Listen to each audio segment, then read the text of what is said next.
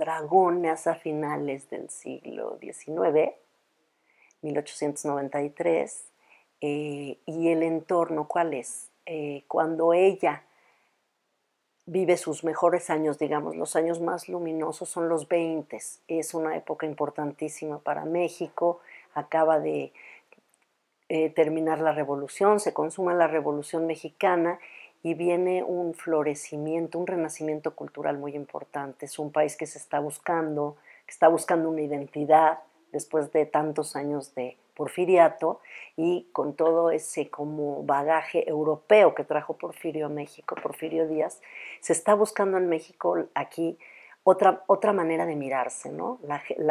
y la cultura y el arte tienen un papel importantísimo pues hay que recordar a Vasconcelos en la cepa, abriendo los muros para los grandes pintores muralistas, también eh, eh, repartiendo clásicos por todo, por todo el país, alfabetizando.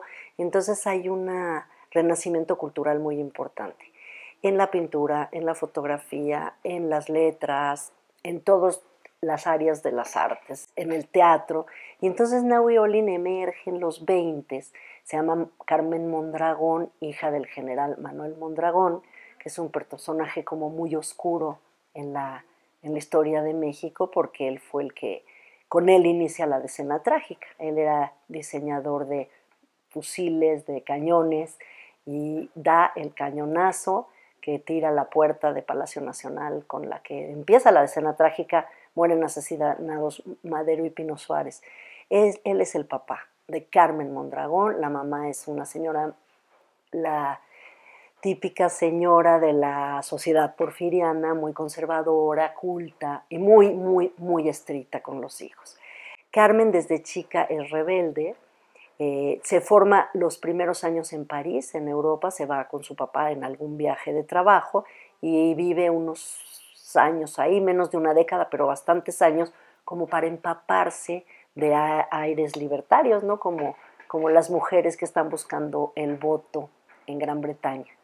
Y la cultura francesa echa raíces en Olin, ella escribe en francés, habla francés y es una enamorada de la cultura francesa.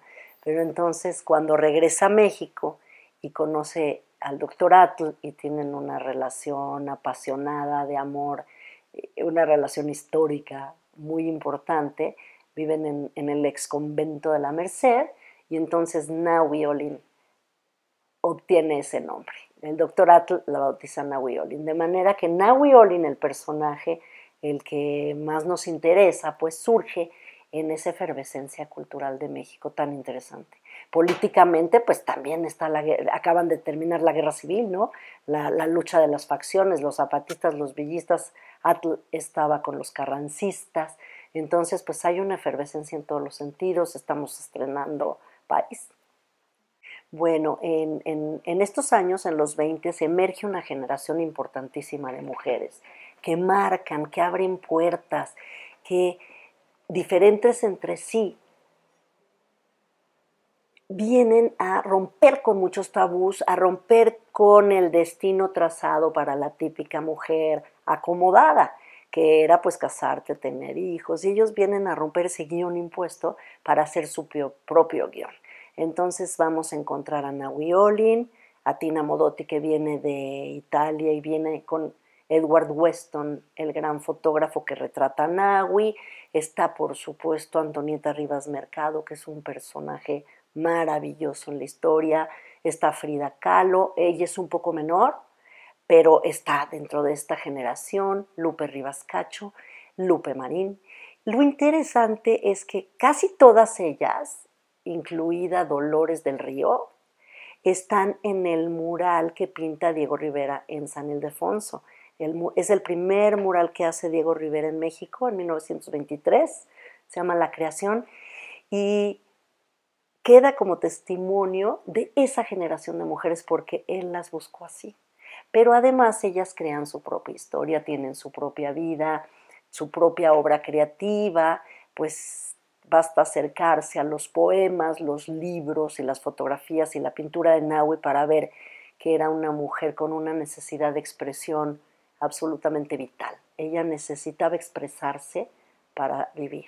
Y las demás lo hacen también. Frida Kahlo se autorretrata, Antonieta escribe libros, escribe las fabulosas cartas de amor a Rodríguez Lozano, eh, que son unas cartas muy importantes, muy bien escritas, se revela como una escritora también, ¿no? Y aparte, pues toda la, la, campaña que hace con Vasconcelos, que, que lo acompaña, ¿no? Entonces, estas mujeres tan interesantes ahora siguen vigentes. Por ejemplo, Nahui Olin, yo creo que en este año 2018 tiene una vigencia absoluta en sus propuestas, cuando leemos sus cartas o leemos sus poesías, pues lo que ella está reivindicando es, son las demandas de las mujeres en las calles en marzo, ¿no? Es la libertad, sobre todo la libertad.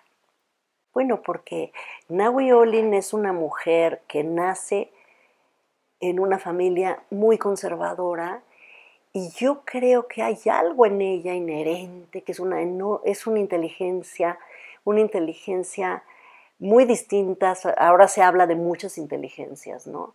Y creo que ella lo, tiene, tiene un extra, porque como cuando tú ves las fotografías de su familia y de ella, que son muy, muy reveladoras por cómo están vestidas, tienen un corsé, y ella desde chica se quita ese corsé, pero desde niña, cuando escribe Independiente soy, ¿no? Entonces ese poema te habla de una niña que desde muy pequeña quiere cortar con, esa, con los cánones, con las costumbres y por supuesto abre las puertas para generaciones posteriores. Aún hoy hay gente que, que se impresiona muchísimo, ¿no? Entonces, claro, ella va a hacer un, su vida es como un himno a la libertad y a la, y a la autonomía, como un personaje femenino.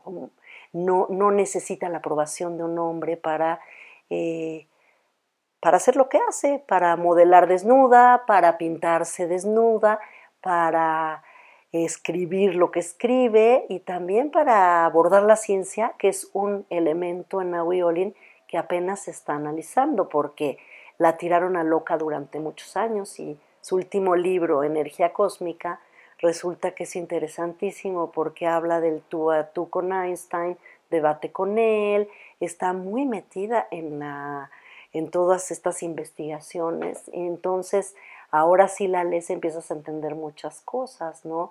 Le decían que estaba muy loca, pero es que ella tenía una conexión como muy, muy profunda con, el cosmos, digamos, ¿no? Y esto puede venir hasta de, su nombre. Naui Olin quiere decir cuatro movimientos y es el poder que tiene el Sol para eh, que se muevan los planetas, por ejemplo, ¿no? Entonces es el eh, cuatro movimiento en náhuatl, que quiere decir el poder eh, de darle movimiento y a los ciclos del cosmos. Entonces está conectada con eso, asume su nombre como eso y en esta que la historia o varias generaciones calificaron de locura, pues ella convierte en poesía eso, cuando dice que ella todas las noches, todas las tardes tiene la encomienda de meter el sol para que puedan salir las estrellas. Eh, yo estoy de acuerdo con Homero Arirgis que es una locura poética, es una locura iluminada, que ahora hay que leerla de otra manera y no, creo que fue castigada Nahui por eso, ¿no? Se adelantó tanto, fue tan libre, expresó lo que pensaba, lo que sentía por tantos medios, hasta en los muros del centro de la ciudad, que claro, una, ciudad, una sociedad que no entiende eso prefiere tachar de locura y de marginar de la historia. Este, Naui Olin, eh, además de su propia obra, pues es, le llaman musa, le llaman este modelo, pero era, yo creo que ella era más que eso. Ella sí se convierte en un personaje de sí mismo. Ella es Carmen Mondragón, pero cuando el doctor Atl la bautiza a Olin, absorbe, asume ese nombre y en efecto ella crea con, con su trabajo o digamos con esa belleza, porque tiene una belleza espectacular, unos ojos impresionantes, cuando ella posa y lo dice en sus poemas, siempre soy otra.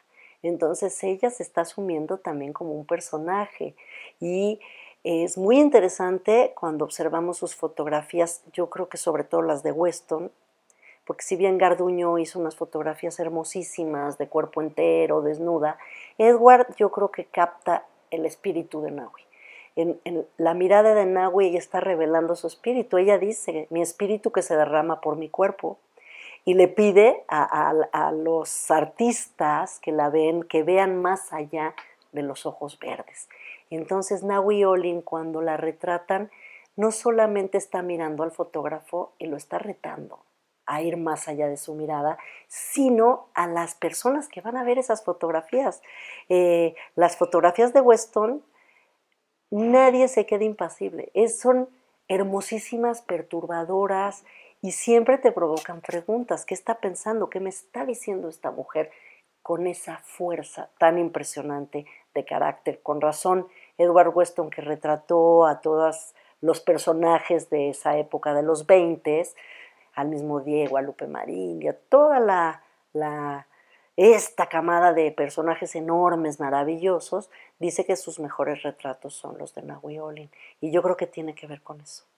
Cuando dicen, pobrecita, ella murió en la miseria, pobrecita, daba lástima, yo creo que a mí nunca me ha provocado lástima ese personaje, porque yo creo que ella escogió ella siempre hizo lo que quiso y ella escogió eso. Ella escogió y además nunca pidió nada. Ella vivía de sus sueldos, seguía trabajando, seguía dando clases. Y yo, ella le daba clases a niños, le daba clases de pintura. Es una etapa que ahora se está investigando también, ¿no? ¿Qué tipo de pintura le enseñaba a los niños? Eh, Naui tiene un estilo naif y donde apenas está analizando su pintura. Y esa etapa tan larga como maestra y además compone para piano, toca el piano, escribe eh, y se queda, yo creo que con su último amor, que es el capitán Eugenio Agacino.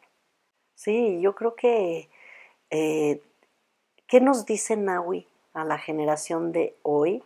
Una mujer de hace tanto tiempo, ¿no? Pues van a ser 100 años. De los, eh, yo creo que muchísimo. Yo creo que es un, personaje interesantísimo porque a través de Nahui entras a un episodio de la historia de México muy importante, pero desde un punto de vista femenino que quizá no se había tomado en cuenta, porque siempre, eh, claro que ahí está Frida, ya está Antonieta, ya está Tina, pero siempre se les relacionaba con un hombre o se los valoraba porque era la esposa de Diego o porque era la amante de Edward Weston, a Naui porque era la amante del Dr. Atle, y de pronto emerge un personaje autónomo que yo creo que se identifica muchísimo con las, con las luchas de la mujer de hoy y también por la libertad, por Naui no es la corrección política para nada, que también a veces es un corsé, y ella, y yo creo que debe de ser algo liberador, ¿no? Todo lo que,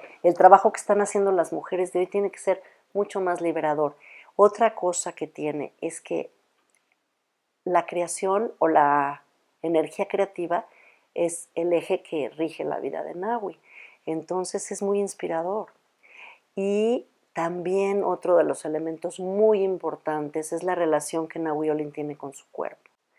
Y imagínense a los 20 una mujer que tiene una relación tan gozosa con su cuerpo, cuando lo que había era una represión tremenda, desde el vestuario hasta el destino de la vida sexual. Naui Olin ejerce la libertad eh, sexual y es una persona para quien el erotismo es muy importante. Ella lo asume como una parte como respirar, como dice Tomás Urián que ella bebía del erotismo como hay gente que bebe vino. Entonces yo creo que tiene toda la razón. Ella lo asume como parte de la vida, no es un extra que, suceda de repente, no, es la vida, el eros está presente en Nahui. Y yo creo que eso nos dice mucho, nos dice mucho ahora, ¿no? Mujeres, ámense, quiéranse y en su propio cuerpo ustedes son libres de vivir su vida como crean porque además el resultado de Naui Olin dejó cosas muy positivas en el arte y en, digamos que en el incipiente movimiento feminista, porque dicen, ¿por qué hasta los 20 las mujeres emergen de esa manera? Yo creo que más bien a la historia escrita les, les ha faltado ampliar el elenco de personajes, porque desde la época prehispánica hay mujeres gobernando, de las que casi no conocemos, después en la independencia y en la revolución hay muchísimos personajes femeninos fascinantes que no son nada más las adelitas que van con su siguiendo, digamos, al hombre, apoyándolo en la lucha, sino que toman decisiones, están al frente de batalla, están tomando fotografías en plena guerra de la revolución. Entonces, lo que hace falta es releer la historia, integrar a este elenco femenino que no se ha integrado.